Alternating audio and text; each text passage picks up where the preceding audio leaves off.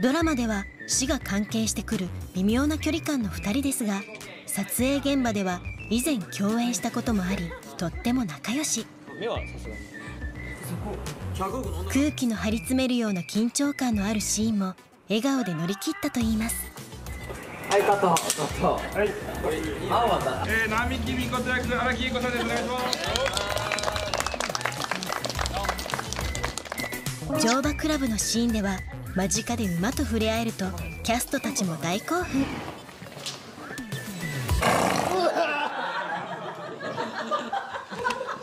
すごかった今。すごかった。ベッドベトなっちゃった朝前中この子タルタルしてない？あいいね。かわいいポニーって馬なんですか？馬です。馬でしょ。お手してたさっき。えそんな出てきていいんですか？ああすごいすごいすごい。すごい。お手しましたよ満足。まあ、二人は倒れてる状態ねここでは新田さんが華麗に馬を乗りこなすかっこいい姿も。はいカットオッケー。しかしパーティー会場のシーンでは可愛らしい一面も。何ですか？あの誰が一番強いかっていうじゃんけんです。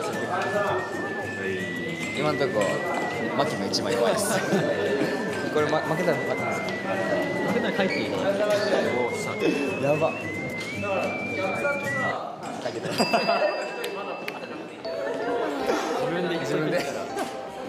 ちゃんとちゃんと帰るから。ちゃんと帰る。彼はちゃんと帰るんでマキもそういうとこがね。素晴ら素晴らしいです。ね二言はないんで彼にでも帰ってこない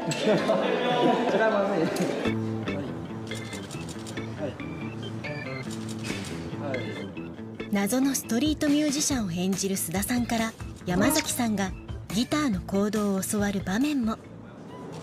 まあ主題歌覚えろって話なんだけど。A マイナーな。んだっけ最初はそれ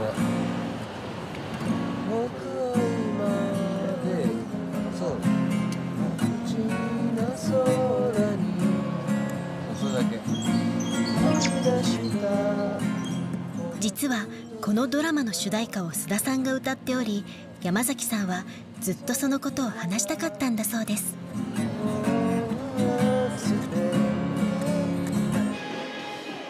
さらに志尊さんはホストクラブでの短いシーンのために女装ダンスを猛特訓。